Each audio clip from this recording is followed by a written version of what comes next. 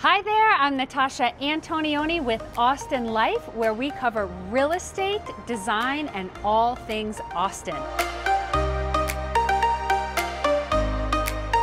Today, we are on our way to do a neighborhood tour of Leander, one of the fastest growing areas in the Austin vicinity. But first, we wanted to pop over to the Zebra because it is our own Austin soccer stadium. Check it out. The Q2 Stadium is a soccer specific stadium located in the North Burnet section of North Austin, Texas. It's the home of Austin FC, a major league soccer team that began play in 2021. If you've been to this channel before, you know we're all about intentional design.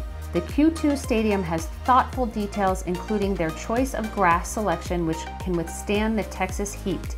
With all local food vendors and thoughtful details, the place is brimming with cultural ties to the community. You can plant the seed, but it's built by the supporters, giving our supporters uh, of Austin FC certain ownership and honor and privilege and, and influence and power.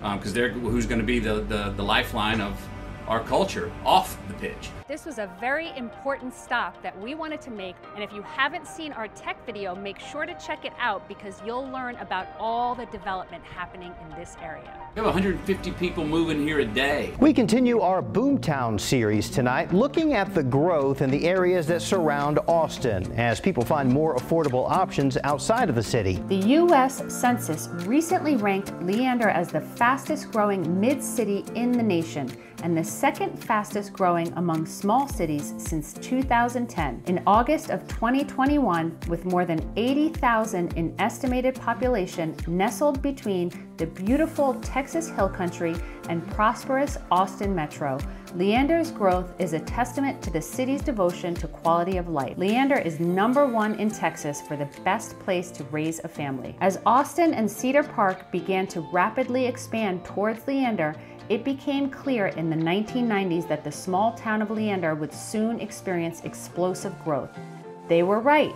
From 1990 to 2015, the city's population multiplied over 10 times.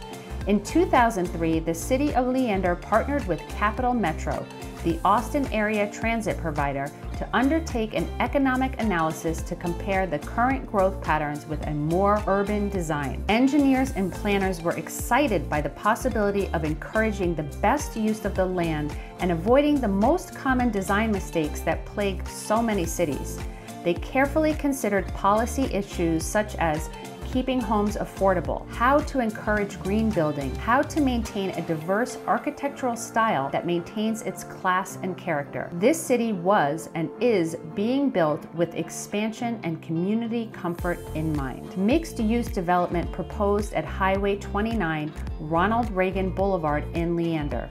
The 32 acre project called 29 Gateway may include restaurants, retail spaces, an apartment complex, offices, a Montessori school, according to planning documents. From local parks, including skate parks, basketball, and so much more to create rich communities for families. Leander's mayor announced a partnership with Leander Springs and a whopping four acre crystalline lagoon. With some of the biggest builders in the country coming to Leander, they're creating communities for residents that need affordable housing. However, there is luxury here too. Check out our 11611 Lime Creek Road video to see an example. Another example of luxury in Leander includes 500 Chickasaw Plum Cove with 3,909 square feet four bedrooms, four baths, and 1.42 acres. This house is a showstopper. Well, if you like this video, make sure to hit that like button and subscribe below because we have videos coming out every single week. We'll see you soon. Bye.